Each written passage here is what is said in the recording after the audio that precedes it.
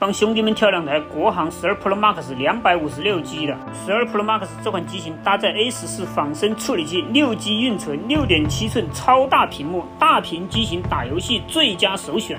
后置三摄像头，最高支持五倍光学变焦，电池容量三千六百八十七毫安，续航也不错。同样也是 iPhone 首款支持五 G 网络的机型之一。